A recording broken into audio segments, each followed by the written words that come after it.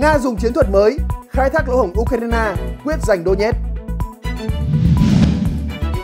Nga lên tiếng về gói viện trợ mới của Mỹ dành cho Ukraine. Ukraine có động thái mới sau tối hậu thư của Thủ tướng Slovakia.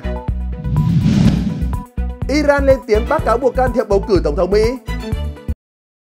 Xin kính chào và cảm ơn quý vị đang theo dõi chương trình trên kênh Toàn cảnh 24 giờ. Vừa rồi là những thông tin chính sẽ có trong chương trình. Ngay bây giờ là phần tin chi tiết. Bộ Quốc phòng Nga mới đây tuyên bố lực lượng nước này đã kiểm soát được khu định cư Pipdene trong vùng Donetsk thuộc miền đông Ukraine. Theo Reuters, Pipdene là một thành trì của Ukraine và thị trấn khai thác than mà Nga bắt đầu tiến vào trong tháng 6. Trong khi đó, theo trang tin The Kiev Independent, Bộ Tư lệnh tấn công đường không của Ukraine tuyên bố Lữ đoàn tấn công đường không Tavrian số 79 đã ngăn chặn một nỗ lực quy mô lớn khác của lực lượng Nga nhằm tiến tới gần khu Kurakhove trong vùng Donetsk. Các lực lượng Nga đã tăng cường nỗ lực tiến về các khu vực Kurakhove và Pokrovsk ở phía đông Ukraine và quân đội Ukraine thừa nhận tình hình căng thẳng và khó khăn.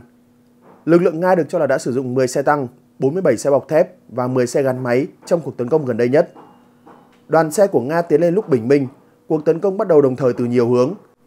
Trinh sát trên không của lữ đoàn 79 đã phát hiện các khí tài của Nga. Pháo binh Ukraine sau đó bắt đầu tấn công dữ dội. Những chiếc xe tăng và xe chiến đấu bọc thép đầu tiên của Nga đã bị chặn lại bởi máy bay không người lái tấn công của Ukraine. Tiếp đó, lực lượng chống tăng Ukraine được triển khai. Khí tài Nga bị trúng mìn của lữ đoàn 79. Kết quả là lực lượng đổ bộ đã tấn công 6 xe tăng và 7 xe chiến đấu bọc thép chở quân của Nga. Toàn bộ 12 xe mô tô bị phá hủy.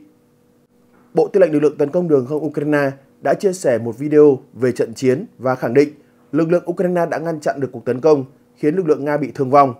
Dù vậy, quân đội Nga đã liên tục gặt hái nhiều thành quả ở khu vực phía đông tỉnh Donetsk, miền đông Ukraine và ngày càng áp sát một trong những thành trì của tỉnh này là thành phố Pokrovsk. Báo New York Times đưa tin, quân đội Nga hiện chỉ còn cách thành phố Pokrovsk thuộc tỉnh Donetsk, miền đông Ukraine và cũng là một trong những thành trì quan trọng của tỉnh này khoảng 16 km. Theo giới quan sát, nếu quân đội Nga kiểm soát ba thành phố Toretsk, Pokrovsk và Konstantinovka, toàn bộ khu vực tỉnh Donetsk sẽ rơi vào nguy hiểm. Các nhà lãnh đạo quân sự Ukraine nói Donetsk là một trong những mục tiêu hàng đầu của quân đội Nga. Theo hãng tin AFP, gần đây Tổng thống Ukraine, ông Volodymyr Zelensky thừa nhận lực lượng Ukraine đang chịu áp lực lớn ở mặt trận Donetsk. Ông Zelensky nói, nhiều khu vực ở Donetsk vô cùng khó khăn và trục Pokrovsk là nơi Nga mở nhiều cuộc tấn công nhất trong những tuần gần đây và đây cũng là nơi chứng kiến nhiều cuộc tấn công dữ dội nhất của đối phương. Ông Zelensky nói rằng người dân Ukraine đang phải chịu đựng nỗi đau và sự kinh hoàng mỗi ngày, đồng thời kêu gọi các đối tác nước ngoài của Ukraine cung cấp các hệ thống phòng không hiện đại để bảo vệ người dân. Quân đội Ukraine cho biết, Nga đang tập trung tiến hành các cuộc tấn công nhằm vào thành phố chiến lược phía đông Pokrovsk thuộc Donetsk. Các cuộc tấn công này đe dọa tuyến đường tiếp tế quan trọng của quân đội Ukraine. Bộ Tổng tham mưu các lực lượng vũ trang Ukraine cho biết trong báo cáo hàng ngày rằng giao tranh trên mặt trận Pokrovsk là quyết liệt nhất so với các khu vực khác ở phía đông. Pokrovsk là một trung tâm vận tải với dân số trước khi xung đột bùng phát là khoảng 61.000 người.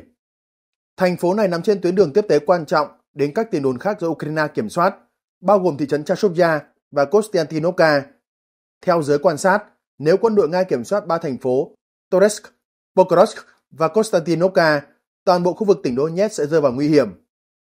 Các nhà lãnh đạo quân sự Ukraine nói Donetsk là một trong những mục tiêu hàng đầu của quân đội Nga. Các nhà phân tích quân sự cho biết, những thành quả mà quân đội Nga thu được một cách nhanh chóng phản ánh khả năng cải thiện vị trí trên chiến trường của Moscow, cũng như hiệu quả từ việc khai thác các lỗ hổng trong tuyến phòng thủ của Ukraine.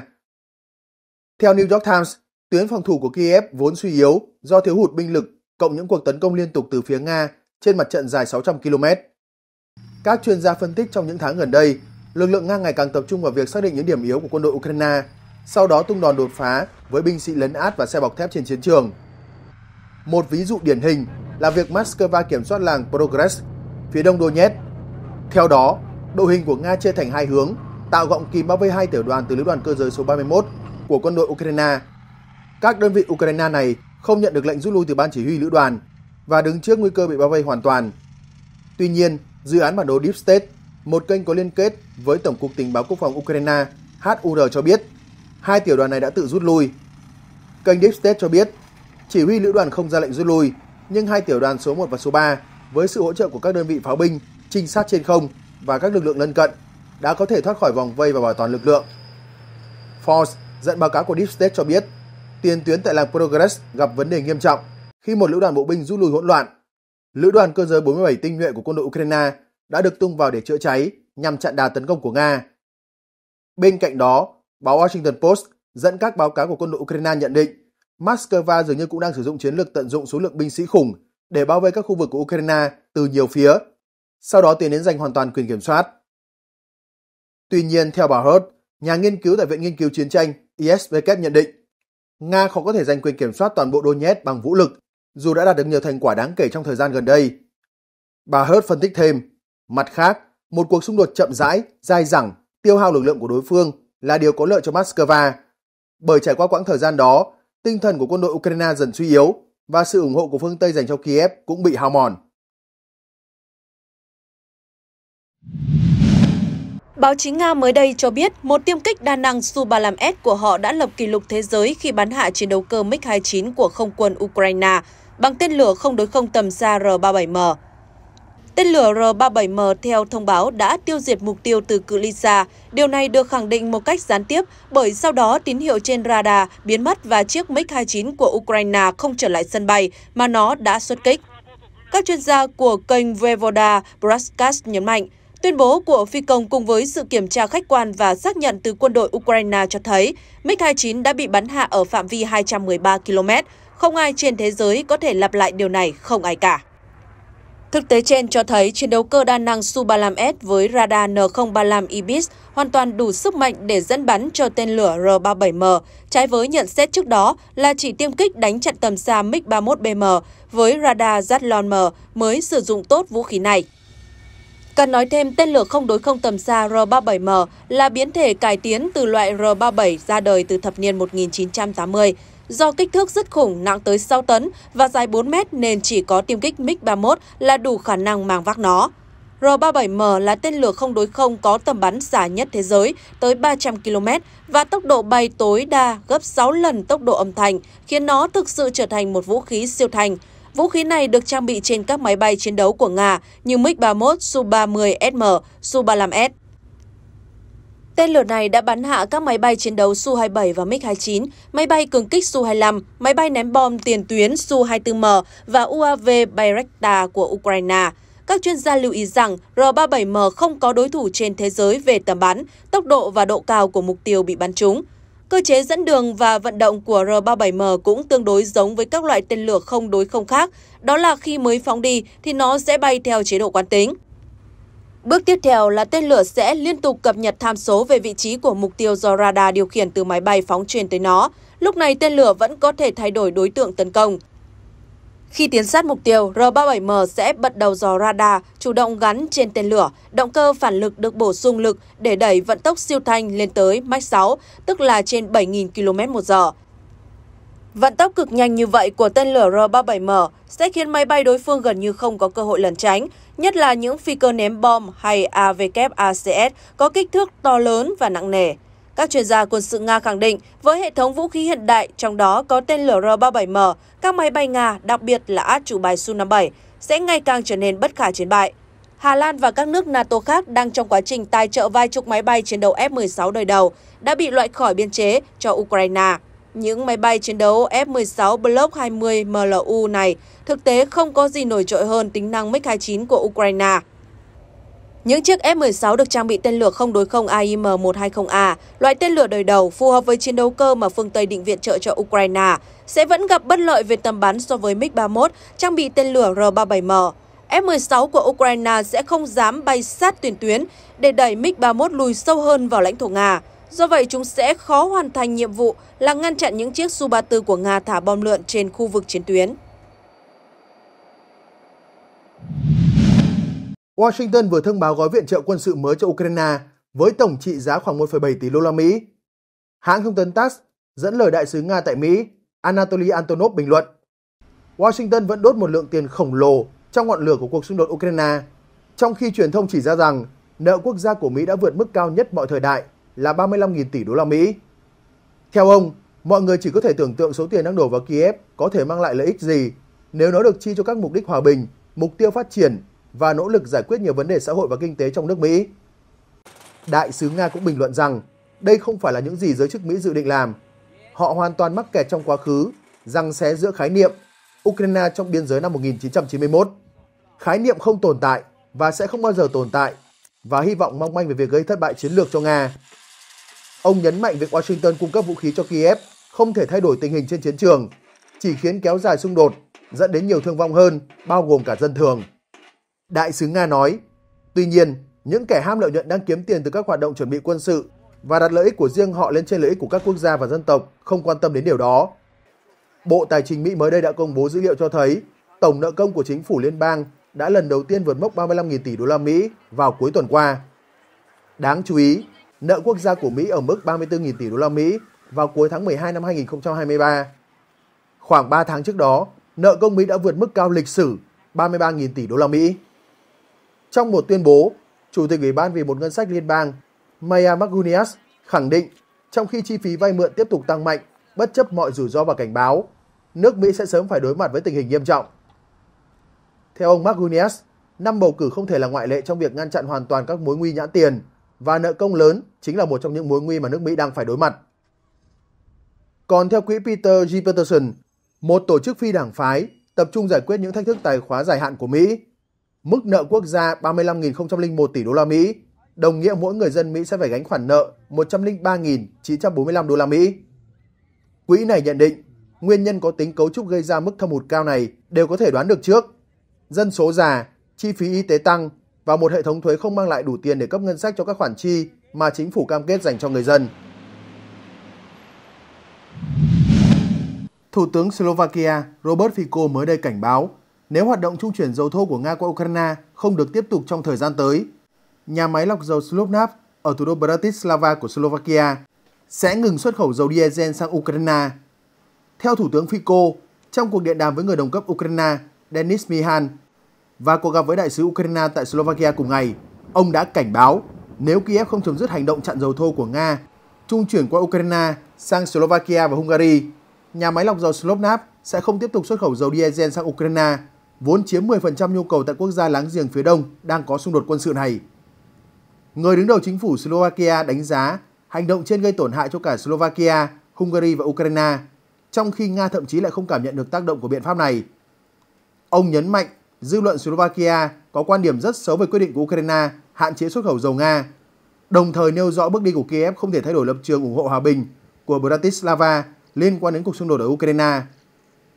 Sau tuyên bố trên của Slovakia, Thứ trưởng Năng lượng Ukraine Roman Andarak cho biết nước này sẽ đảm bảo việc trung chuyển dầu sang châu Âu cho các công ty không bị Kiev trừng phạt và sẵn sàng giải quyết các vấn đề với Slovakia theo thỏa thuận liên kết với Liên minh châu Âu EU. Thứ trưởng Andarak cho biết Ukraine sẵn sàng giải quyết các vấn đề có thể gây rắc rối khi Slovakia kích hoạt cơ chế liên quan trong hiệp định liên kết với EU. Ông Andarak cho biết, cho đến nay họ vẫn chưa làm như vậy, đồng thời nói thêm rằng Kiev sẵn sàng đảm bảo việc vận chuyển dầu không bị gián đoạn cho tất cả các công ty không phải chịu lệnh trừng phạt của phương Tây và Ukraine. Ông Andarak cho hay, việc trung chuyển dầu của Ukraine sang châu Âu từ các nhà cung cấp khác của Nga không bị gián đoạn và Ukraine vẫn tiếp tục là đối tác tin cậy của EU trong các dịch vụ trung chuyển dầu. Ông nói, phía Ukraine không dừng hoạt động trung chuyển, họ vẫn tiếp tục và tất cả các yêu cầu trung chuyển đều được thực hiện. Trước đó, chính quyền Kiev đã cho ngừng dòng chảy dầu qua đường ống Dus 3, viện dẫn lý do trừng phạt đối với công ty năng lượng khổng lồ Lukoil của Nga. Động thái này đã khiến nguồn cung dầu tới hai quốc gia thành viên EU là Slovakia và Hungary giảm từ 30 đến 40%. Ukraine giải thích, việc khóa van dòng chảy dầu Nga qua đường ống Dus 3 là bởi Kiev nhận thấy doanh thu của Lukoil có thể được sử dụng để hỗ trợ quân đội Nga. Tuy nhiên, một nhà lập pháp Ukraine nói với Politico, việc phong tỏa chỉ có mục đích thứ yếu là gây áp lực buộc Hungary thay đổi chính sách trang bị vũ khí cho Kiev.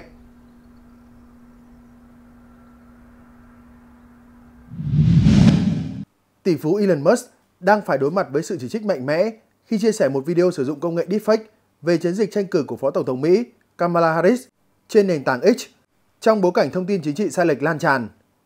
Theo đó, tài khoản cá nhân của ông Musk đăng một video, trong đó lồng tiếng giả giọng bà Harris gọi Tổng thống Joe Biden là người già yếu hay tự nhận bản thân không biết gì về việc điều hành đất nước.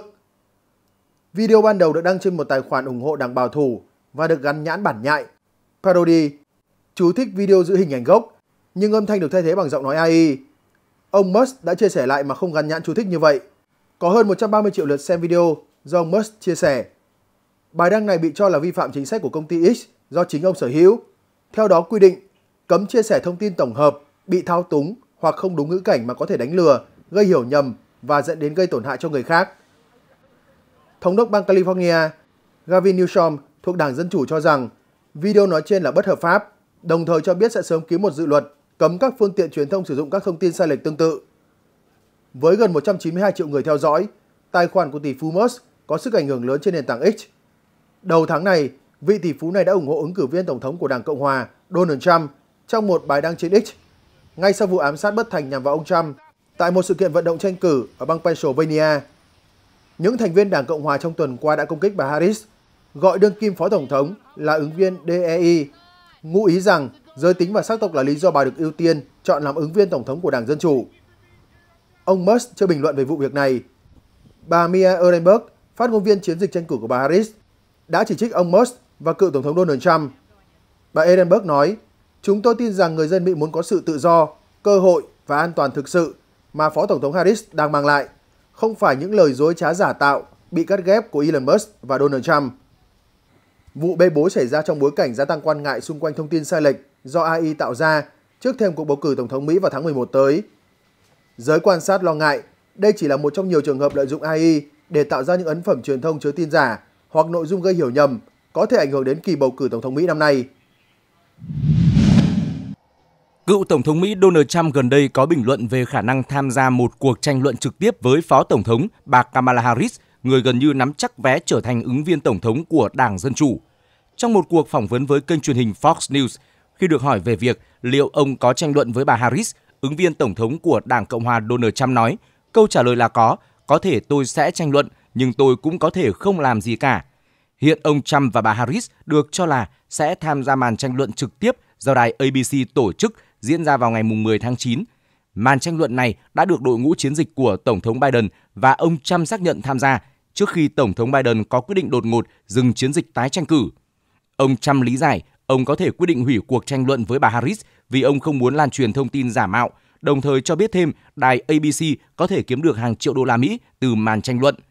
Trước đó, chiến dịch của ông Trump đã đưa ra một tuyên bố cho biết cựu tổng thống sẽ không cam kết tham gia bất kỳ cuộc tranh luận nào trong tương lai cho đến khi ứng cử viên dân chủ được chính thức lựa chọn. Người phát ngôn chiến dịch của ông Trump, Stephen Chung cho biết trong một tuyên bố rằng do tình hình chính trị hỗn loạn xung quanh ông Joe Biden và Đảng Dân Chủ, các chi tiết của cuộc tranh luận tổng tuyển cử không thể được hoàn thiện cho đến khi Đảng Dân Chủ chính thức quyết định về ứng cử viên của họ. Về phần mình, bà Harris cho hay bà sẽ tham gia cuộc tranh luận của đài ABC. Trong một cuộc phỏng vấn, bà Harris có nói rằng tôi nghĩ rằng các cử tri xứng đáng được chứng kiến màn hình chia đôi sân khấu tranh luận tồn tại trong cuộc đua này. Vì vậy tôi đã sẵn sàng, bắt đầu thôi. Trước đó, Ủy ban vận động tranh cử của Phó Tổng thống Kamala Harris, người gần như chắc chắn sẽ được Đảng Dân Chủ đề cử là ứng viên Tổng thống thay cho ông Joe Biden, đã gửi email đến cử tri với thông điệp nhiều người đang nói ông Donald Trump sợ tranh luận với bà Kamala Harris. Các trợ lý của Phó Tổng thống Mỹ còn chỉ trích ứng cử viên Đảng Cộng Hòa đang tìm cách rút lui, hủy lịch, từ chối tham gia, trốn trong Mar-a-Lago để không phải tranh luận trên đài ABC sắp tới. Email dẫn lời thống đốc Pennsylvania Josh Shapiro nói ông Trump sợ đối đầu với bà Harris, còn Bộ trưởng Giao thông Pete Buttigieg nói ông Trump lộ tâm lý yếu đuối bất ngờ. Và mới đây nhất, Alan Lichtman, một nhà nghiên cứu lịch sử chính trị, đã đưa ra dự đoán sơ bộ về kết quả bầu cử Tổng thống Mỹ năm 2024. Ông Lichtman nhấn mạnh, ông sẽ đưa ra dự đoán cuối cùng cho cuộc đua vào Nhà Trắng vào tháng 8 năm nay, khoảng 3 tháng trước ngày bầu cử, sau đại hội toàn quốc của Đảng Dân Chủ. Tuy nhiên, theo phân tích của ông, Phó Tổng thống Kamala Harris có khả năng sẽ giành chiến thắng. Theo Fox News, ông Lichtman đã phát triển một công thức để đưa ra dự đoán về cuộc bầu cử Tổng thống sắp tới, và trong hầu hết các trường hợp, Công thức mang tên chìa khóa Nhà Trắng này đều cho kết quả chuẩn xác. Chìa khóa Nhà Trắng của ông Lichtman bao gồm 13 câu hỏi đúng hoặc sai mà ông tin rằng sẽ đưa ra dấu hiệu mạnh mẽ về người sẽ chiến thắng trong cuộc bỏ phiếu mùa thu. Theo đó, nếu đảng kiểm soát Nhà Trắng được coi là thành công ở 8 chìa khóa trở lên, đảng đó được kỳ vọng sẽ giành chiến thắng và duy trì quyền kiểm soát. Ngược lại, nếu đảng đương nhiệm bị coi là thất bại ở 6 tiêu chí trở lên, đảng đối phương sẽ giành chiến thắng. Tính đến thời điểm hiện tại, ông Lichtman đã dự đoán đúng kết quả 9 trên 10 cuộc bầu cử Tổng thống Mỹ và được mệnh danh là nhà tiên tri. Vừa qua, trong họp báo về cuộc điều tra vụ nổ súng ở sự kiện vận động tranh cử của ông Trump ở Pennsylvania, Ông Kevin Rochek, đặc vụ phụ trách văn phòng thực địa Pittsburgh của Cục Điều tra Liên bang Mỹ FBI cho biết, một cảnh sát đã để mắt đến nghi phạm Thomas Crooks, 20 tuổi, hơn một tiếng trước khi hắn nổ súng. Vị cảnh sát này đã chụp lại ảnh tay súng và gửi cho các nhân viên thực thi pháp luật khác tại hiện trường. Khoảng 30 phút sau đó, đội đặc nhiệm SWAT đã nhìn thấy nghi phạm Crooks sử dụng một thiết bị đo khoảng cách và lướt các trang tin tức. Ông Rochek cho biết khoảng 17 giờ 56 phút ngày xảy ra vụ việc, tức 20 phút trước khi nổ súng, Crooks được nhìn thấy mang theo một ba lô. Đến 18 giờ 6 phút, camera hành trình của cảnh sát đã ghi được cảnh hắn ta di chuyển trên mái nhà nơi mà hắn ta đã bóp cò súng. Ông Rochek chia sẻ, mặc dù FBI không phải là cơ quan chịu trách nhiệm điều tra bất kỳ sai sót nào trong vấn đề an ninh của ông Trump, nhưng cơ quan này đang lập một dòng thời gian về các diễn biến. Ông Donald Trump cũng đã đồng ý trả lời phỏng vấn của Cục Điều tra Liên bang Mỹ FBI theo quy định cuộc điều tra, đồng thời ông bày tỏ mong muốn cuộc phỏng vấn sẽ diễn ra vào ngày 1 tháng 8. Đặc vụ Rochek cho biết cuộc phỏng vấn sẽ phù hợp với bất kỳ cuộc phỏng vấn nạn nhân nào mà chúng tôi thực hiện và FBI muốn biết được quan điểm của ông Trump. Ông Rochek cũng xác nhận ông Trump đã bị trúng đạn, dù là cả viên đạn hay các mảnh vỡ của viên đạn. Hiện FBI chưa xác định được động cơ gây án, nhưng các nhà điều tra tin rằng vụ nổ súng là kết quả của một kế hoạch tỉ mỉ từ việc trong những tháng gần đây dùng bí danh mua các tiền chất hóa học. Các nhà điều tra tin rằng đã được sử dụng để tạo ra các thiết bị nổ được tìm thấy trong xe hơi và nhà riêng của đối tượng và việc triển khai một thiết bị bay không người lái cách địa điểm ông Trump gặp gỡ người ủng hộ khoảng 180 mét vài giờ trước khi sự kiện diễn ra. FBI cho biết thêm, một ngày trước vụ nổ súng, Crooks đã đến một trường bắn địa phương và luyện tập với khẩu súng sẽ được sử dụng trong vụ tấn công. Trước vụ nổ súng, qua mạng Internet, Crooks cũng thể hiện quan tâm đến những nhân vật công chúng nổi tiếng, tìm kiếm trực tuyến thông tin về nhiều người, trong đó có cả Tổng thống Joe Biden. Ngoài ra, Crooks đã tìm kiếm thông tin về các vụ xả súng hàng loạt, thiết bị nổ tự chế, nhà máy điện và vụ ám sát hụt vào tháng 5 nhằm vào Thủ tướng Slovakia Robert Fico. Cộng đồng tình báo Mỹ tin rằng Điện Kremlin sẽ tập trung các nỗ lực tuyên truyền theo hướng ủng hộ cựu Tổng thống Donald Trump trong cuộc chạy đua vào Nhà Trắng trước Phó Tổng thống Kamala Harris. Đó là lời cảnh báo của một quan chức tình báo Mỹ tham gia cuộc gọi qua điện thoại được tổ chức bởi Trung tâm ứng phó ảnh hưởng xấu từ nước ngoài, một trong vài cơ quan của chính phủ Mỹ tập trung đối phó với các chiến dịch tuyên truyền từ nước ngoài. Theo đài NBC News, nhận xét trên là dấu hiệu rõ ràng nhất cho thấy Mỹ tin rằng cựu Tổng thống Trump tiếp tục là ứng cử viên được Nga ưa chuộng, thậm chí sau khi Tổng thống Joe Biden rời khỏi đường đua và bà Harris nắm chắc suất ứng viên đại diện Đảng Dân Chủ tranh cử Tổng thống vào ngày 5 tháng 11. Theo NBC, Trung tâm ứng phó ảnh hưởng xấu từ nước ngoài là cơ quan trực thuộc Văn phòng Giám đốc Tình báo Quốc gia Mỹ, ODNI, có nhiệm vụ chính là đối phó các chiến dịch tuyên truyền từ nước ngoài. Trong cuộc bầu cử năm 2020, ODNI từng kết luận rằng Moscow đã có những chiến dịch nhằm hạ thấp tư cách ứng viên của Tổng thống Biden và Đảng Dân Chủ, đồng thời tuyên truyền ủng hộ ông Trump. Trên thực tế, các quan chức ODNI thường không đề cập trực tiếp tới tên của ông Trump, bà Harris hay bất kỳ nghị sĩ Mỹ nào khi đưa ra nhận xét về cuộc bầu cử. Tuy vậy, trong một cuộc họp vào đầu tháng 7, ODNI nhận định rằng xu hướng của Nga vẫn không thay đổi so với năm 2020.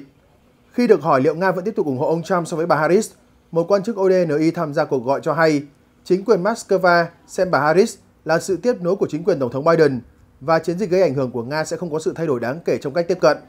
Theo NBC, Bộ Ngoại giao Nga chưa đưa ra phản hồi chính thức về thông tin này, nhưng Tổng thống Nga Vladimir Putin và Điện Kremlin từng nhiều lần khẳng định Moscow sẽ không can thiệp vào cuộc bầu cử Tổng thống Mỹ. Theo đó, Phó Chủ tịch Hội đồng An ninh Nga Dmitry Medvedev nói với hãng tin TASS mới đây rằng chúng tôi chắc chắn sẽ không can thiệp vào công việc nội bộ của Mỹ. Câu hỏi ai sẽ được bầu là dành cho cử tri. Theo ông Medvedev, Nga sẽ chờ đợi cơ hội để Tổng thống tương lai của Mỹ có thể cải thiện quan hệ và xoa dịu căng thẳng toàn cầu. Nhưng tình hình không mấy lạc quan. Ông Medvedev lưu ý, chúng tôi đang làm mọi cách để bảo vệ công dân của mình trước những mối đe dọa nguy hiểm nhất đang gia tăng theo cấp số nhân hiện nay. Chắc chắn chúng tôi sẽ trao cơ hội cho Tổng thống mới của Mỹ để tránh xa vực thẳm mà phương Tây đang đẩy toàn thế giới vào đó. Tuy nhiên, tình hình hiện tại không mấy lạc quan. Liên quan đến diễn biến xung đột ở Trung Đông, chúng tôi xin được gửi đến quý vị những cập nhật mới nhất tiếp theo sau đây. Hãng thông tấn chính thức của Iran IRNA mới đây đưa tin, phái đoàn thường trực Iran tại Liên Hợp Quốc đã bác bỏ cáo buộc của Mỹ cho rằng Tehran đang tìm cách tác động đến cuộc bầu cử Tổng thống Mỹ năm nay. Theo CNN, bản đánh giá cập nhật về các mối đe dọa đối với cuộc bầu cử Tổng thống Mỹ vào tháng 11 cho rằng Iran đang sử dụng hoạt động truyền thông xã hội bí mật và các hoạt động gây ảnh hưởng liên quan nhằm cản trở nỗ lực trở lại Nhà Trắng của cựu Tổng thống Donald Trump. Trong một tuyên bố, Văn phòng Giám đốc Tình báo Quốc gia ODNI cho biết Iran đang tìm cách tác động đến cuộc bầu cử Tổng thống Mỹ vì lo ngại việc ông Donald Trump tái đắc cử sẽ khiến mối quan hệ giữa quốc gia này với Mỹ thêm căng thẳng. Sau những thông tin kể trên, phái đoàn thường trực của Iran tại Liên Hợp Quốc đã lên tiếng bác bỏ mọi cáo buộc, nhấn mạnh không có mục tiêu hay hoạt động nào nhằm gây ảnh hưởng đến cuộc bầu cử Tổng thống Mỹ. Hồi giữa tháng 5, theo hãng tin Reuters, Giám đốc tình báo quốc gia Abrin Hynet đã nhấn mạnh rằng Nga vẫn là mối đe dọa nước ngoài lớn nhất đối với các cuộc bầu cử tại Mỹ. Bà cho biết chính phủ Nga có mục đích làm suy yếu niềm tin của người dân vào các thể chế dân chủ, gia tăng căng thẳng chính trị, xã hội và làm giảm sự ủng hộ của phương Tây dành cho Ukraine. Thượng nghị sĩ Mark Warner, Chủ tịch Ủy ban Tình báo Thượng viện thời điểm đó cho biết, các báo cáo tình báo được giải mật chỉ ra không chỉ Nga, Trung Quốc và Iran, mà còn có cả Cuba, Venezuela, các nhóm chiến binh Hồi giáo và nhiều tội phạm mạng có động cơ lợi nhuận cũng đang tìm cách can thiệp vào chính trị Mỹ. Các nỗ lực can thiệp của nước ngoài bao gồm quấy rối ứng cử viên, mạo danh tổ chức Mỹ trên mạng xã hội, như trường hợp Nga được cho là đã giả mạo tài khoản đại diện cho Đảng Cộng hòa ở Tennessee và phong trào Black Lives Matter. Ông Warner nhấn mạnh, chúng tôi chứng kiến ngày càng nhiều người Mỹ mất niềm tin vào các thể chế trong nước, từ cơ quan liên bang đến truyền thông chính thống, cùng với sự phụ thuộc ngày càng tăng vào các nền tảng trực tuyến dễ bị thao túng. Các ủy ban của Quốc hội bắt đầu xem xét vấn đề can thiệp nước ngoài vào cuộc bầu cử sau khi các cơ quan tình báo Mỹ kết luận rằng các thực thể được Nga hậu thuẫn đã tìm cách tăng cơ hội cho ứng cử viên Donald Trump vào năm 2016, mặc dù Moscow phủ nhận điều này. Khi cuộc đua vào Nhà Trắng ngày càng tới gần, các quan chức Mỹ cũng đang đau đầu tìm cách đối phó với công nghệ trí tuệ nhân tạo AI. Theo cơ quan tình báo Mỹ, công nghệ deepfake có thể được sử dụng để đánh lừa cử tri, làm ảnh hưởng nghiêm trọng đến cuộc bầu cử.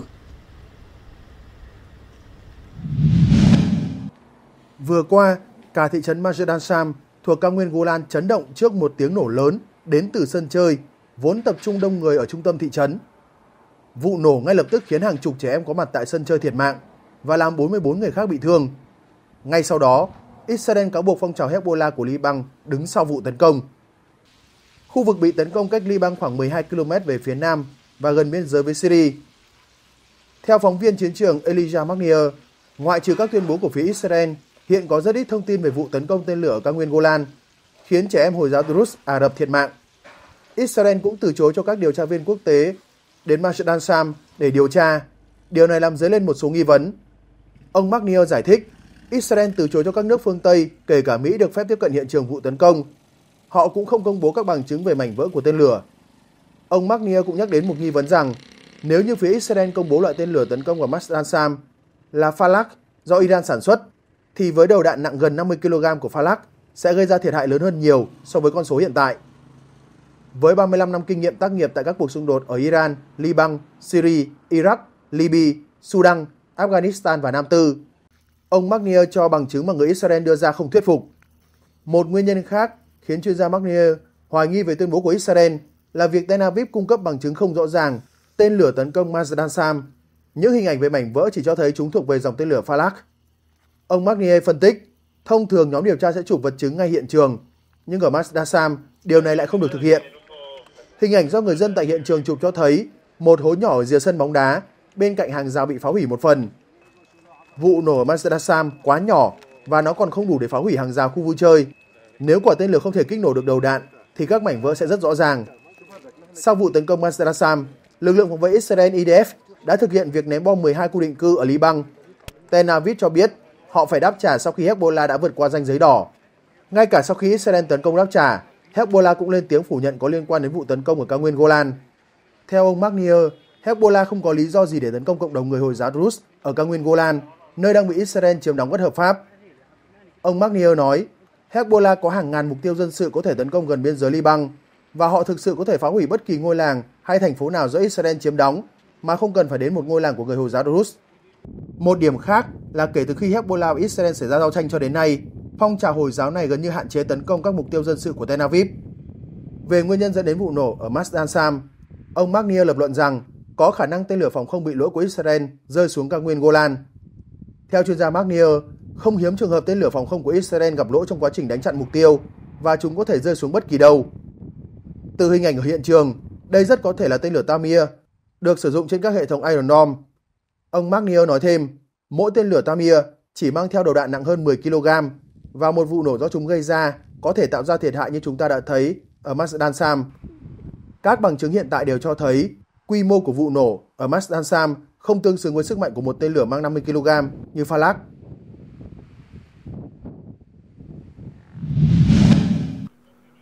Quan chức của Liban, Iran, các nhà ngoại giao Trung Đông và châu Âu cho biết Washington đang vội vã ngăn chặn một cuộc chiến toàn diện giữa Israel với lực lượng Hezbollah của Liban sau vụ tấn công khiến nhiều người thiệt mạng vào cuối tuần qua. Israel và Mỹ cáo buộc Hezbollah gây ra vụ tấn công bằng rocket, nhưng lực lượng này phủ nhận trách nhiệm. Các nguồn tin giấu tên cho biết, trọng tâm của nỗ lực ngoại giao do Mỹ dẫn đầu là hạn chế phản ứng của Israel để nước này không đáp trả vào thủ đô Beirut đông dân, các vùng ngoại ô phía nam của thành phố vốn là trung tâm của Hezbollah hoặc các công trình quan trọng như sân bay và cầu. Phó Chủ tịch Quốc hội Liban Elias Bousaab cho biết đã liên lạc với nhà trung gian người Mỹ Amos Hochstein kể từ cuộc tấn công vào cao nguyên Golan vừa qua. Ông nói rằng Israel có thể ngăn chặn nguy cơ một cuộc chiến tổng lực nếu tránh tấn công vào thủ đô và vùng phụ cận của Beirut. Trong khi đó, các quan chức Israel cho biết nước họ muốn đáp trả Hezbollah nhưng không muốn kéo khu vực vào cuộc chiến toàn diện. Tuy nhiên, hai nhà ngoại giao Trung Đông và châu Âu cho biết Israel chưa đưa ra bất kỳ cam kết nào về việc tránh các cuộc tấn công vào Beirut, vùng ngoại ô hoặc các cơ sở hạ tầng dân sự. Bộ Ngoại giao Mỹ không bình luận về các chi tiết cụ thể của các cuộc đàm phán ngoại giao, nhưng khẳng định họ đang tìm kiếm một giải pháp lâu dài để chấm dứt mọi cuộc đấu súng xuyên biên giới. Người phát ngôn Nhà Trắng John Kirby nói, sự ủng hộ của chúng tôi đối với an ninh của Israel là sắt đá và không lay chuyển trước mọi mối đe dọa do Iran hậu thuẫn, bao gồm cả Hezbollah. Israel có mọi quyền để đáp trả cuộc tấn công khốc liệt vào Golan, nhưng không ai muốn một cuộc chiến lớn hơn. Văn phòng Thủ tướng Israel và Hezbollah chưa bình luận về sự việc. Một quan chức Iran cho biết, Mỹ cũng đã truyền đạt thông điệp tới Tehran ít nhất 3 lần kể từ cuộc tấn công vào cao nguyên Golan vừa qua, cảnh báo rằng việc gia tăng căng thẳng sẽ gây bất lợi cho tất cả các bên. Một nhà ngoại giao Pháp nói với Reuters rằng kể từ vụ tấn công Golan, Paris cũng tham gia vào việc truyền đạt thông điệp giữa Israel và Hezbollah để hạ nhiệt tình hình. Pháp có mối quan hệ lịch sử với Liban, nơi nằm dưới sự ủy trị của Pháp từ năm 1920 cho đến khi giành được độc lập vào năm 1943. Paris vẫn duy trì mối quan hệ chặt chẽ kể từ đó và có khoảng 20.000 công dân ở nước này, nhiều người trong số họ mang hai quốc tịch. Bộ Ngoại giao Pháp không trả lời yêu cầu bình luận. Trong một tuyên bố tại một cuộc meeting mới đây, Tổng thống Erdogan cho biết Thổ Nhĩ Kỳ có thể đưa quân vào Israel để ngăn Israel đối xử với người Palestine như hiện nay. Ông nói động thái có thể tương tự như đã đưa lực lượng vào các điểm nóng như Nagorno-Karabakh hay Libya. Ông không nêu rõ cách thức và thời điểm triển khai hành động trên. Ông Erdogan phát biểu, chúng ta phải hành động rất mạnh mẽ để Israel không thể làm những điều vô lý này với người dân Palestine. Không có lý do gì chúng ta không thể làm điều này. Chúng ta phải mạnh mẽ để có thể thực hiện những bước đi này. Phát biểu của Tổng thống Erdogan diễn ra trong bối cảnh gia tăng căng thẳng giữa Israel và Hezbollah ở Liban, làm tăng nguy cơ xung đột toàn khu vực. Ngay sau tuyên bố trên của ông Erdogan, Bộ Ngoại giao Israel tuyên bố, trước những lời đe dọa xâm lược Israel và lời lẽ nguy hiểm của Tổng thống Thổ Nhĩ Kỳ Erdogan, Ngoại trưởng Israel Katz đã chỉ thị cho các nhà ngoại giao khẩn trương hợp tác với tất cả các thành viên NATO, kêu gọi lên án Thổ Nhĩ Kỳ và yêu cầu khai trừ nước này khỏi liên minh khu vực. Ngoại trưởng Israel, ông Israel Katz cũng cho rằng Thổ Nhĩ Kỳ đã bước vào trục ma quỷ của Iran, cách gọi của Tel Aviv về liên minh chống Israel do Tehran dẫn đầu, gồm các lực lượng Hezbollah ở Liban, Hamas ở giải Gaza và Houthi ở Yemen. Thổ Nhĩ Kỳ gia nhập NATO năm 1952, giúp liên minh kiểm soát vị trí chiến lược tại điểm giao giữa châu Âu và châu Á, nối giữa Biển Đen với Trung Đông. Đây là nơi Mỹ đặt một căn cứ không quân lớn và cất giữ vũ khí hạt nhân. Nước này cũng giữ vai trò quan trọng ở chiến sự Ukraine khi vừa duy trì quan hệ ổn định với Nga, vừa viện trợ vũ khí cho Ukraine và là trung gian đàm phán giữa hai phía. Từng là đồng minh thân thiết trong khu vực, quan hệ giữa Israel và Thổ Nhĩ Kỳ đã xấu đi trong hơn một thập niên qua. Thổ Nhĩ Kỳ là một trong những quốc gia chỉ trích Israel gay gắt nhất kể từ khi cuộc xung đột ở giải Gaza nổ ra vào tháng 10 năm 2023. Tổng thống Thổ Nhĩ Kỳ Erdogan xem Hamas là nhóm giải phóng, nhiều lần cáo buộc Israel phạm tội diệt chủng đối với người Palestine ở giải Gaza. Thổ Nhĩ Kỳ hồi tháng 5 dừng xuất nhập khẩu mọi mặt hàng tới Israel cho đến khi nước này đảm bảo hàng viện trợ nhân đạo vào giải Gaza đầy đủ và thông suốt. Đầu tháng 7, tại hội nghị thượng đỉnh NATO, ông Erdogan kêu gọi liên minh chấm dứt mọi hợp tác với Israel vì nước này theo đuổi các chính sách liều lĩnh. Chuyển sang những vấn đề nóng đang diễn ra trên thế giới, chúng tôi xin được tiếp tục gửi đến quý vị những cập nhật mới nhất sau đây. Theo hãng thông tấn Meco Press, Ngoại trưởng Venezuela Ivan Gin đã thông báo quyết định trục xuất đại sứ 7 nước Mỹ Latin gồm Argentina, Chile, Costa Rica, Peru, Panama, Cộng hòa Dominica và Peru sau khi chính phủ các nước này không công nhận kết quả bầu cử tổng thống. Những nước này bị cáo buộc can thiệp tình hình nội bộ Venezuela. Ngoại trưởng Gin cũng xác nhận Venezuela sẽ rút ngoại giao đoàn tại những quốc gia trên về nước và yêu cầu ngoại giao đoàn đối phương lập tức rời khỏi lãnh thổ Venezuela. Ngoại trưởng Gin tuyên bố trên mạng xã hội X tên cũ là Twitter, rằng Venezuela kịch liệt phản đối các hành động can thiệp và tuyên bố của nhóm các chính quyền cánh hữu, những nước phụ thuộc Mỹ và công khai cam kết với những ý thức hệ bẩn thỉu nhất của chủ nghĩa phát xít đế quốc. Theo Hội đồng bầu cử quốc gia Venezuela, với 80% số phiếu được kiểm, ông Nicolas Maduro đã giành chiến thắng và tái đắc cử Tổng thống Venezuela nhiệm kỳ 2025-2031, cũng là nhiệm kỳ thứ ba liên tiếp của nhà lãnh đạo này – sau khi phe đối lập không công nhận chiến thắng của ông cho nhiệm kỳ tổng thống 6 năm, ông Maduro nói rằng có một nỗ lực nhằm tổ chức một cuộc đảo chính ở Venezuela. Phát biểu tại một sự kiện tại Hội đồng bầu cử quốc gia CNE, bên tuyên bố ông là người chiến thắng trong cuộc bầu cử được tổ chức một ngày trước đó. Ông Maduro khẳng định họ đang cố gắng áp đặt một cuộc đảo chính mang tính chất phát xít và phản cách mạng ở Venezuela một lần nữa – CNE cho biết ông Maduro đã giành được 51,2% số phiếu bầu so với 44,2% ứng cử viên Edmundo González Urrutia của phe đối lập. Phe đối lập sau đó chỉ trích kết quả, cho rằng họ phải giành được ít nhất 2 phần 3 số phiếu bầu nhưng không nêu ra bằng chứng cụ thể cho ước tính này. Nhiều nước cũng lên tiếng phản đối kết quả bầu cử công nhận ông Maduro tái đắc cử. Nhóm 7 nước Argentina, Costa Rica, Ecuador, Guatemala, Panama, Paraguay, Peru Cộng hòa Dominica và Uruguay yêu cầu tổ chức các quốc gia châu Mỹ OAS họp khẩn để giải quyết tình hình và bảo vệ ý nguyện của người dân Venezuela. Trung tâm Carter có trụ sở tại Mỹ, một trong số ít tổ chức được phép đưa quan sát viên vào Venezuela, kêu gọi CNE ngay lập tức công bố chi tiết kết quả bỏ phiếu. Trong khi đó, Ngoại trưởng Mỹ Antony Blinken bày tỏ mối quan ngại nghiêm trọng trong khi người đứng đầu chính sách đối ngoại của Liên minh châu Âu Joseph Borrell và Tổng thư ký Liên Hợp Quốc Antonio Guterres thúc giục sự minh bạch trong cuộc bầu cử ở Venezuela. Mặt khác, ông Maduro đã nhận được lời chúc mừng từ các nước Trung Quốc, Nga, Cuba, Nicaragua, Honduras và Bolivia.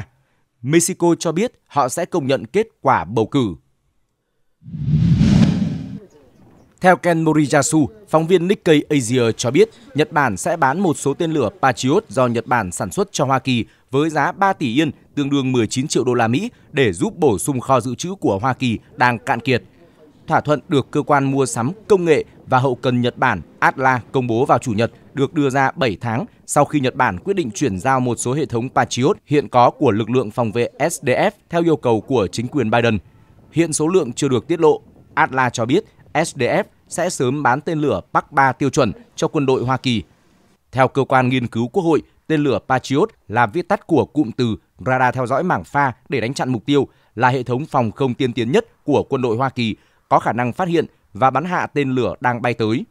Tại Hoa Kỳ, hệ thống radar và mặt đất được sản xuất bởi RTX, trước đây là Raytheon Technologies, trong khi tên lửa đánh chặn do Lockheed Martin sản xuất. Mỗi năm, Mitsubishi Heavy Industries của Nhật Bản sản xuất khoảng 30 tên lửa cho lực lượng phòng vệ trên không. SDF hiện sở hữu 3 loại tên lửa Patriot, Bắc 2, Bắc 3 và Bắc 3 MSE tiên tiến hơn, viết tắt của Missile Segment Enhancement. Một tên lửa Bắc 3 tiên tiến thường có giá trị khoảng 4 triệu đô la Mỹ. Biến thể MSE có tầm bắn mở rộng lên đến 50%.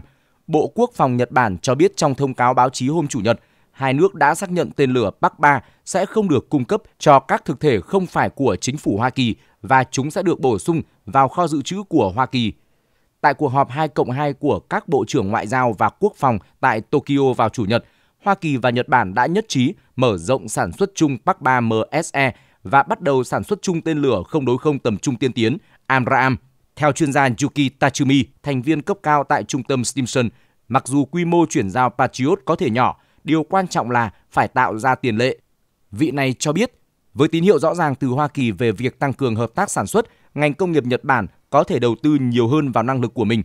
Ngoài ra, theo một tuyên bố của các bộ trưởng, nhu cầu về các loại vũ khí như vậy đang ở mức nghiêm trọng và những nỗ lực chung về hợp tác sản xuất sẽ là ưu tiên hàng đầu. Họ cũng nhất trí thành lập một sở chỉ huy lực lượng chung mới của Hoa Kỳ để đảm nhận trách nhiệm chính trong việc điều phối các hoạt động an ninh trong và xung quanh Nhật Bản.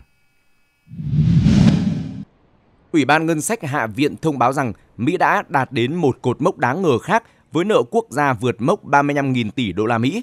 Người đứng đầu Ủy ban dân biểu Jody Arrington gọi sự phát triển này là cột mốc đáng báo động, thúc giục tăng cường trách nhiệm tài chính và chi tiêu để khắc phục tình trạng tăng trưởng nợ quốc gia đang gia tăng.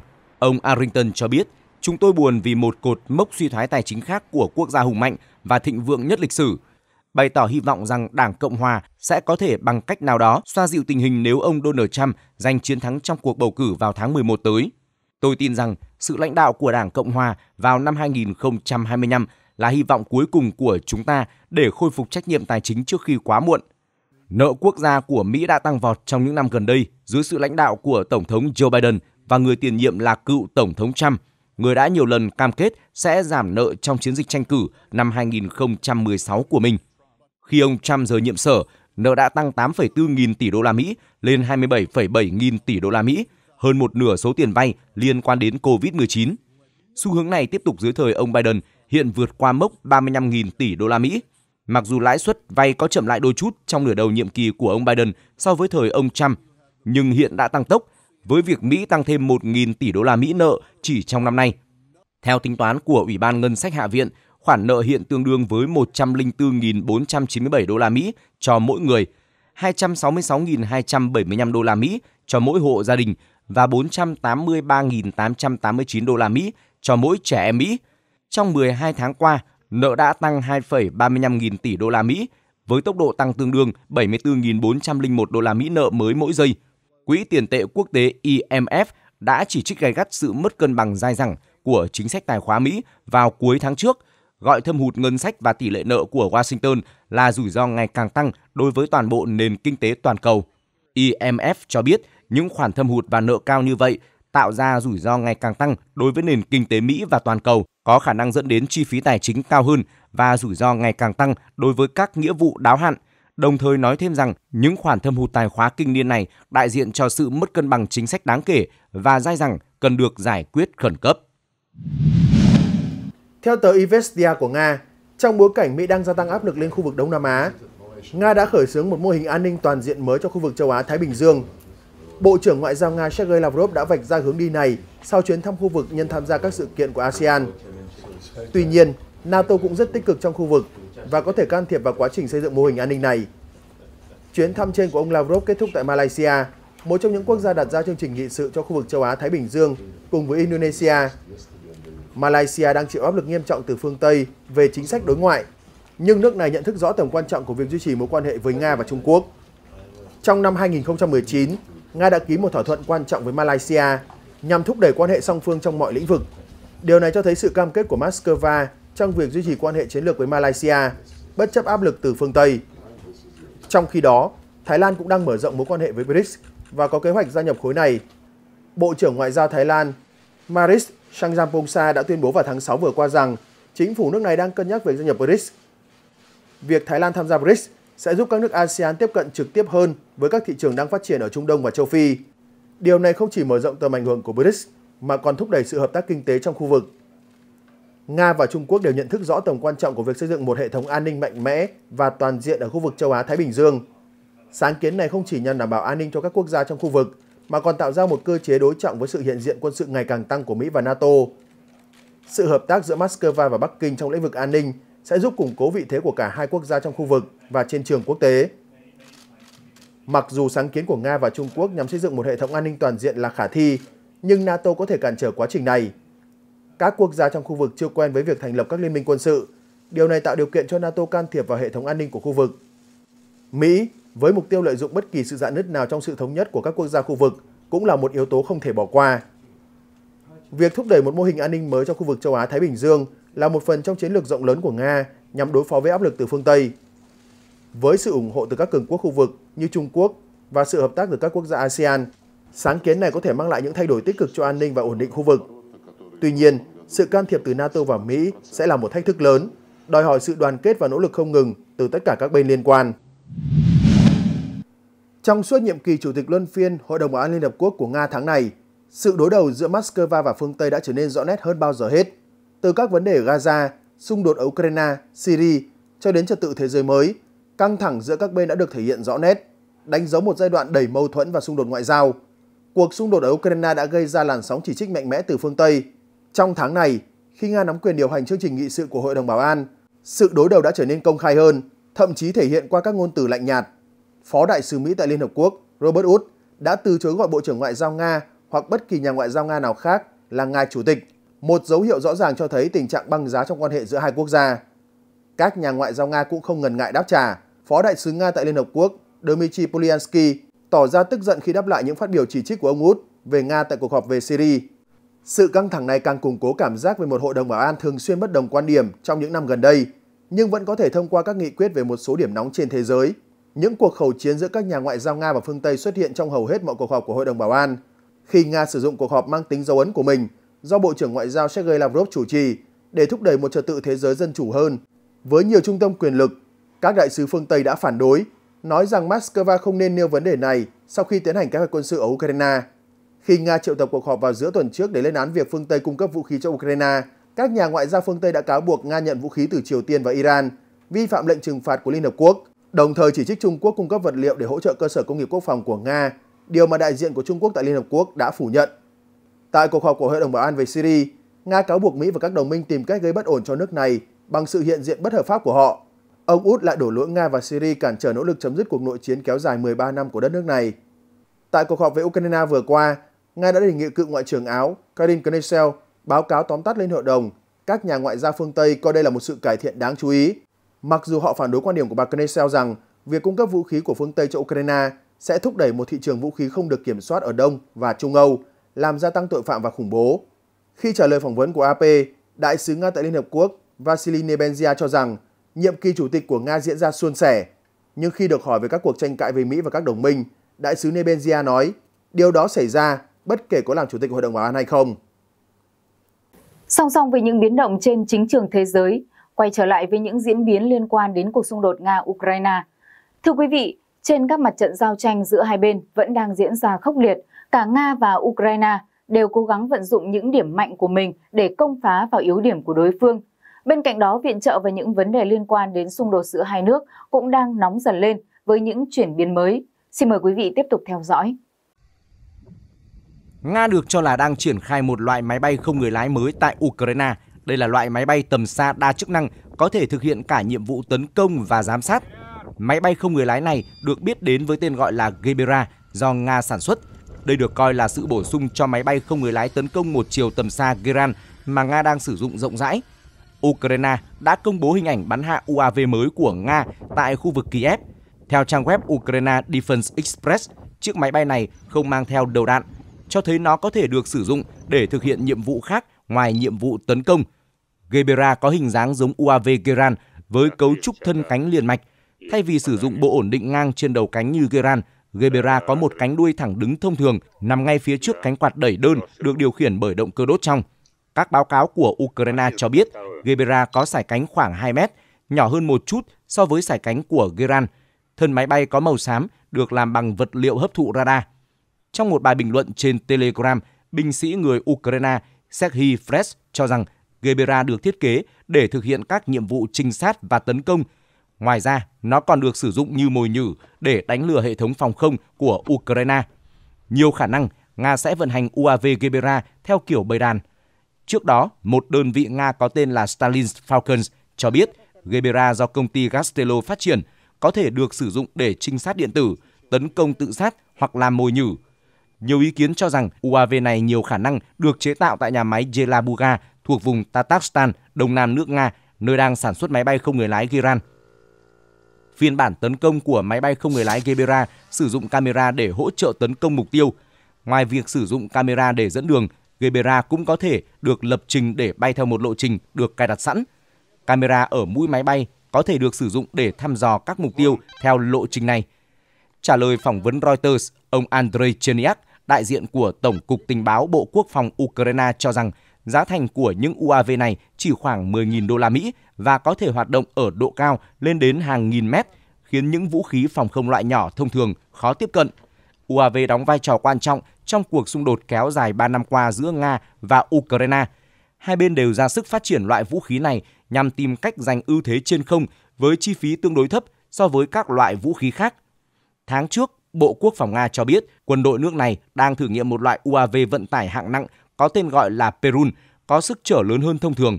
UAV này có hai phiên bản khác nhau, có thể khai hỏa vũ khí cả trên mặt đất và trên không.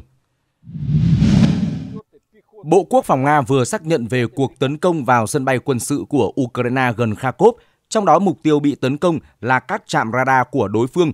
Cụ thể, Bộ Quốc phòng Nga trong một tuyên bố mới đây cho biết các lực lượng hàng không chiến thuật, máy bay không người lái, lực lượng tên lửa và pháo binh đã phá hủy một máy bay tấn công Su-25 của không quân Ukraine, trạm radar ATCR-33S và Skalamr, đồng thời tấn công các điểm tập trung nhân lực và thiết bị của đối phương ở 127 khu vực. Theo dữ liệu mới nhất của Nga, các cuộc tấn công vào trạm radar được cường kích ném bom Su-34 của lực lượng hàng không vũ trụ Nga thực hiện bằng tên lửa KH-35. Radar ATCR-33S là một thành phần quan trọng của hệ thống phòng không Ukraine được sử dụng để kiểm soát không lưu của máy bay chiến đấu. ATCR-33S có thể được trang bị anten parabol G33 hoặc anten mảng pha ALE. Giải tần hoạt động từ 2.700 đến 2.900 MHz. Bộ Quốc phòng Nga cho biết thêm các hệ thống phòng không nước này đã bắn hạ hai quả bom dẫn đường Hammer, 5 tên lửa HIMARS và 68 máy bay không người lái. Đầu tháng 7, trang tin avia.pro của Nga cũng đã đưa tin các lực lượng nước này đã phát hiện và phá hủy trạm radar P-18 Malachit được ngụy trang của quân đội Ukraine. Hoạt động này là một phần trong chiến lược làm suy yếu lực lượng phòng không Ukraine trước khi phương Tây bàn giao cho Kiev máy bay chiến đấu F-16. Radar P-18 Malachit được sử dụng để phát hiện và theo dõi các mục tiêu trên không. Việc phá hủy hệ thống này làm giảm đáng kể khả năng bảo vệ không phận của quân đội Ukraine. Nga đã sử dụng vũ khí chính xác cao tiến hành cuộc tấn công vào trạm radar này, giúp giảm thiểu rủi ro cho dân thường và cơ sở hạ tầng. Theo các nhà phân tích quân sự Nga, việc phá hủy một cách có hệ thống các cơ sở quan trọng như vậy sẽ làm suy yếu đáng kể khả năng phòng thủ của Ukraine. Từ giờ cho đến khi Ukraine nhận được máy bay chiến đấu F-16 như đã hứa, các lực lượng vũ trang của nước này có thể bị mất đi một phần đáng kể khả năng phòng không và radar, và điều đó sẽ gây ra nhiều vấn đề nghiêm trọng cho việc sử dụng hiệu quả máy bay mới. Reuters dẫn lại tuyên bố của quân đội Ukraine cho biết, lực lượng Nga đang tập trung các mũi tấn công chính đánh vào thành phố Pokrovsk ở vùng Donetsk. Đây cũng là lần đầu tiên Moscow tiến tới gần tuyến đường hậu cần chiến lược của Kiev ở Donetsk kể từ khi xung đột nổ ra. Bộ Tổng tham mưu các lực lượng vũ trang Ukraine cho biết, mặt trận Pokrovsk đang trở thành điểm giao tranh nóng nhất ở miền đông Ukraine. Lực lượng Ukraine đã đẩy lùi 52 cuộc tấn công của Nga tại khu vực này trong 24 giờ qua. Pokrovsk là một trung tâm hậu cần với dân số trước xung đột là 61.000 người. Thành phố này nằm trên tuyến đường tiếp tế quan trọng đến các cứ điểm phòng thủ quan trọng khác do Ukraine kiểm soát ở Donetsk, bao gồm thị trấn Chashovya và Konstantinovka. Ông Serhiy Dobryak, người đứng đầu chính quyền quân sự thành phố Pokrovsk, nói tính đến 29 tháng 7, các mũi tấn công của quân đội Nga chỉ còn cách thành phố chưa đến 20 km. Về phía đông bắc của thành phố, quân đội Nga đã tiến gần hơn đến con đường chiến lược. Moscow tuyên bố kiểm soát ngôi làng Lojuvaske nằm cách đó khoảng 6 km. Báo cáo của Bộ Tổng tham mưu các lực lượng vũ trang Ukraine nêu rõ, các cuộc tấn công của lực lượng Nga tập trung xung quanh khu vực Zelane và Novo Oleksandrovka, hai ngôi làng nằm ở phía đông Pokrovsk. Bộ Quốc phòng Nga cho biết, lực lượng của họ cũng đã kiểm soát được các làng Progress, Yevhenovka và Voche Cả ba khu định cư đều nằm ở phía đông Pokrovsk. Kiev hiện không bình luận về tuyên bố này. Ở một diễn biến khác, vừa qua Tổng thống Ukraine Volodymyr Zelensky cho biết ông đã tới khu vực tiền tuyến Vovchansk thuộc đông bắc Kharkov, nơi lực lượng Moscow đang cố gắng đột phá. Ông được cho là đang trao giải thưởng cấp nhà nước cho các binh sĩ và bắt tay họ trong một đoạn video được đăng cùng với tuyên bố. Vào tháng 5, quân đội Nga đã mở một mặt trận mới ở phía bắc khu vực này và nhanh chóng tiến sâu tới 10 km. Bộ Tổng tham mưu Ukraine cho biết Gần đây, Nga tiếp tục tiến hành các cuộc không kích ở các khu vực biên giới trong khu vực. Mặc dù các cuộc tấn công của Nga ở khu vực phía đông Donetsk vẫn là mũi tấn công chính của Moscow, cuộc tấn công vào khu vực Kharkov đã làm căng thẳng lực lượng phòng thủ của Ukraine và buộc Kiev phải phân tán quân tiếp viện. Theo Reuters, trong chuyến đi tới vùng Kharkov, ông Zelensky cũng đến thăm thị trấn Derhachi, cách thủ phủ vùng Kharkov khoảng 15 km. Cả hai khu định cư này thường xuyên là mục tiêu của các cuộc tấn công bằng tên lửa và bom dẫn đường từ Nga. Các lực lượng của Nga gần đây đã kiểm soát hai ngôi làng trên tiền tuyến ở khu vực Donetsk sau khi các cuộc tấn công dồn dập của Moscow áp đảo các phòng tuyến của Kiev. Ông Olechaus, trung sĩ trưởng lữ đoàn cơ giới 47 của Ukraine cho biết, họ tấn công không ngừng để giành được Vovche và Progress. Họ đã điều động số lượng lớn binh sĩ mà trước đây chưa từng được sử dụng. Bộ Quốc phòng Nga khẳng định trong những ngày gần đây rằng quân đội nước này đã kiểm soát được một số ngôi làng, nhưng Bộ Tổng tham mưu Ukraine vẫn chưa đưa ra bình luận chính thức. Những ngôi làng này nằm cách thành phố chiến lược Adivka 30 km về phía tây bắc. Chiến thắng này là thành quả lớn gần đây nhất của Điện Kremlin trong cuộc xung đột, hiện đã bước sang năm thứ ba. Ông Alexander Shishin, phó chỉ huy một tiểu đoàn của lữ đoàn 47, xác nhận với truyền thông địa phương về việc các ngôi làng trên đã bị Nga kiểm soát. Ông đổ lỗi cho việc huấn luyện binh sĩ kém hiệu quả, các sĩ quan thiếu năng lực và động lực chiến đấu cũng như không có đủ vũ khí. Tổng thống Ukraine Volodymyr Zelensky mới đây đã gọi tình hình ở khu vực Donetsk là cực kỳ thách thức. Chiến lược của Nga trong cuộc xung đột tiêu hao với các cuộc ném bom lượn nhằm vào phòng tuyến Ukraine trước khi bộ binh di chuyển tới đã giúp Điện Kremlin giành được các thành quả liên tục trong khi tìm kiếm một đột phá lớn. Nga đã tiến hành 52 cuộc tấn công trong một ngày, gần gấp đôi số lượng hàng ngày trong những tuần gần đây. Trong khi đó, phòng không Nga đã ngăn chặn cuộc tấn công vào ban đêm của 39 UAV Ukraine tại 5 khu vực. Ukraine thông báo các lực lượng của nước này đã tiến hành các cuộc tấn công vào khu vực Kursk. Phòng không Nga cũng đã được kích hoạt và các vụ nổ được ghi nhận gần ít nhất 4 trạm biến áp, thông báo từ Bộ Tổng tham mưu Ukraine cho biết. Sau cuộc tấn công, tình trạng cắt điện đã được ghi nhận tại các quận Ponirovsky, Sontuseki và Kursky của khu vực Kursk. Các cuộc tấn công do Trung tâm Chiến dịch của Ukraine tiến hành cùng với các thành phần của lực lượng phòng thủ. Thông báo trên cũng cho biết, các cơ sở này cùng với những thứ khác đảm bảo chức năng của tuyến đường sắt Nga, đó là vận chuyển vũ khí và trang thiết bị quân sự để hỗ trợ lực lượng chiếm đóng. Bộ Quốc phòng Nga khẳng định các UAV đã bị đánh chặn và phá hủy tại các khu vực giáp biên giới với Ukraine cũng như khu vực Leningrad, cách biên giới Ukraine 700 km về phía bắc. Một nhà máy điện, một cây cầu và một đường dây điện đã bị hư hại bởi các mảnh vỡ UAV. Ukraine đã triển khai công nghệ cao trong chiến dịch tấn công vào sâu lãnh thổ Nga bằng UAV nhắm đến các cơ sở hạ tầng trọng yếu trong nỗ lực khiến Moscow phải trả giá vì các cuộc tấn công. Tập đoàn Quốc phòng Rostec của Nga mới đây cho biết các kỹ sư nước này đang nỗ lực tăng tầm bắn của các loại bom trên không, đặc biệt là bom FAB-3000. Thông báo của Tập đoàn Quốc phòng Rostec cho biết bom FAB-3000 với mô đun lập kế hoạch và hiệu chỉnh phổ quát UMPC đã trở thành vũ khí đáng gờm của Nga trong kế hoạch quân sự. Việc phát triển và chế tạo các phiên bản cải tiến của loại bom này đang được các kỹ sư tiến hành giúp tăng đáng kể tầm bắn cũng như mức độ hủy diệt mục tiêu. Được biết trước đó, truyền thông Ukraine cũng đã công bố đoạn video về việc Nga sử dụng loại bom này. Theo đó, đoạn video cho thấy quả bom được thả và phát nổ gần làng Lipsy thuộc vùng Kharkov. Sóng xung kích từ FAB-3000 đã khiến tòa nhà cùng các công trình xung quanh bị phá hủy hoàn toàn. FAB-3000 là một trong những vũ khí lợi hại nhất dành cho các máy bay ném bom chiến lược của lực lượng hàng không vũ trụ Nga. Tổng khối lượng của bom lên tới 3 tấn, trong đó trọng lượng của thuốc nổ vào khoảng 1,5 tấn. Khi rơi xuống đất sẽ đủ sức phá hủy những công trình ngầm kiên cố nằm sâu dưới lòng đất. Tuy nhiên không phải mọi thứ đều đơn giản như vậy. Chuyên gia quân sự nổi tiếng người Nga, cựu phi công tiêm kích với biệt danh Fighter Bomber đã bày tỏ nghi ngờ về hiệu quả của bom FAB-3000 bởi theo quan điểm của nhà phân tích, Ukraine không có mục tiêu nào xứng đáng phải dùng đến quả bom rất lớn này. Cựu phi công tiêm kích cho rằng hiệu quả của bom FAB-3000 không cao hơn nhiều so với loại FAB-1500 là bao. Thậm chí nhược điểm là Su-34 chỉ mang được một quả duy nhất trong mỗi phi vụ, không đủ bao phủ mọi mục tiêu. Ở chiều ngược lại, có ý kiến cho rằng bom FAB-3000M54 được trang bị mô đun UMPC là một vũ khí đặc biệt được thiết kế để giải quyết những nhiệm vụ nhất định. Câu hỏi cần lưu tâm hơn đó là làm thế nào để sử dụng nó một cách tối ưu. Để tăng mật độ hỏa lực khi sử dụng bom FAB-3000, đã xuất hiện ý kiến cho rằng nên xem xét khả năng phóng bom từ mặt đất thay vì máy bay thông qua các hệ thống pháo phản lực phóng loạt MLRS cỡ nòng lớn. Được trang bị bộ cánh gấp, bom FAB-3000 có thể tích hợp thêm động cơ tên lửa đẩy và phóng tới mục tiêu từ bệ phóng MLRS. Phương thức này không gây nguy hiểm cho máy bay và phi công, chi phí triển khai cũng rẻ hơn nhiều. Công việc cần thiết tiếp theo là thay dàn phóng nhiều ống nhỏ thành một ống phóng lớn phù hợp với kích thước quả bom, tương tự cách Mỹ thực hiện với tên lửa ATAC-MS, trang bị cho các tổ hợp M142 HIMARS hay M270 MLRS. Nhưng vấn đề quan trọng khác nằm ở độ chính xác và tầm xa.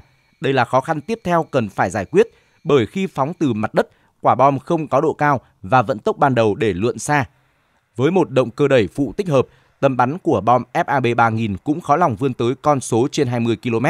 Như vậy tức là đưa khẩu đội MLRS vào trong vùng hỏa lực đáp trả của đối phương. phương án hoán cải bom FAB-3000 để phóng từ mặt đất vì vậy đang bị đánh giá là thiếu hợp lý, ít nhất là khi chống lại lực lượng vũ trang có hỏa lực pháo binh mạnh mẽ như Ukraine. Truyền thông Nga ngày 30 tháng 7 dẫn thông báo của Bộ Quốc phòng nước này cho biết, ba hạm đội của Hải quân Nga cùng một đội tàu đã bắt đầu tập trận theo kế hoạch với sự tham gia của 20.000 quân nhân và 300 tàu. Cuộc tập trận với sự tham gia của hạm đội phương Bắc, hạm đội Thái Bình Dương, hạm đội Baltic và đội tàu Caspian nhằm kiểm tra các cơ quan chỉ huy quân sự của Hải quân Nga. Theo thông báo ngày 29 tháng 7 của Bộ Quốc phòng Nga cho biết, tàu hộ tống Subraziteny của hạm đội Baltic và tàu khu trục tiêu tác Yaoyuo của Hải quân Trung Quốc đã tập trận chung ở Vịnh Phần Lan. Theo thông báo, cuộc tập trận chung Nga-Trung theo mô hình PASEC đã diễn ra tại căn cứ Hải quân Leningrad của hạm đội Baltic ở Vịnh Phần Lan. Mô hình PASEC là hình thức diễn tập trong đó các tàu chiến di chuyển theo đội hình và trao đổi, liên lạc bằng các tín hiệu đèn, thiết bị vô tuyến nhằm đảm bảo khả năng phối hợp khi cần thiết. Bộ Quốc phòng Nga nhấn mạnh các thủy thủ đoàn thực hành sử dụng thiết bị vô tuyến để phát hiện rào chắn bằng mìn và phá hủy chúng bằng hệ thống pháo trên tàu, đồng thời thực hành khoa mục huấn luyện tìm kiếm cứu nạn chung và hỗ trợ tàu mặt nước bị hư hại trong tình huống giả định có chiến tranh, cũng như cứu hộ thủy thủ đoàn trên mặt nước. Trước đó trong ngày Hải quân Nga được kỷ niệm vào Chủ nhật cuối cùng của tháng 7 tại Saint Petersburg, Tổng thống Nga Vladimir Putin đã tham dự cuộc duyệt binh và có bài phát biểu trên một tàu tuần tra. Sự hiện diện của ông Putin tại sự kiện này thể hiện tầm quan trọng của ngày Hải quân đối với Nga, cũng như sự ủng hộ mạnh mẽ của ông đối với lực lượng Hải quân. Bài phát biểu của ông Putin nhấn mạnh vai trò quan trọng của Hải quân trong việc bảo vệ chủ quyền và lợi ích quốc gia của Nga. Theo RT, lễ duyệt binh kết thúc với màn bắn pháo hoa hoành tráng. Màn pháo hoa không chỉ là phần kết tuyệt vời trong một ngày kỷ niệm quan trọng, mà còn là biểu tượng của sức mạnh và sự phồn thịnh của Hải quân Nga. Cuộc duyệt binh tại Saint Petersburg năm nay không chỉ là dịp để tôn vinh lực lượng Hải quân Nga, mà còn là cơ hội để Nga thể hiện sức mạnh quân sự và sự đoàn kết với các đối tác quốc tế. Từ khi mở kế hoạch quân sự ở Ukraine tháng 2 năm 2022, Nga đã tiến hành nhiều cuộc tập trận quân sự riêng hoặc chung với các nước khác như Trung Quốc, Nam Phi. Trong hai tháng qua, Nga cũng đã triển khai một loạt cuộc diễn tập phóng tên lửa, vũ khí hạt nhân chiến thuật. Nga cũng tăng cường huấn luyện quân sự với Belarus, nước giáp biên giới với cả Nga và Ukraine. Thưa quý vị, thông tin vừa rồi đã khép lại chương trình trên kênh Toàn cảnh 24 giờ ngày hôm nay. Cảm ơn quý vị đã quan tâm theo dõi. Xin kính chào và hẹn gặp lại.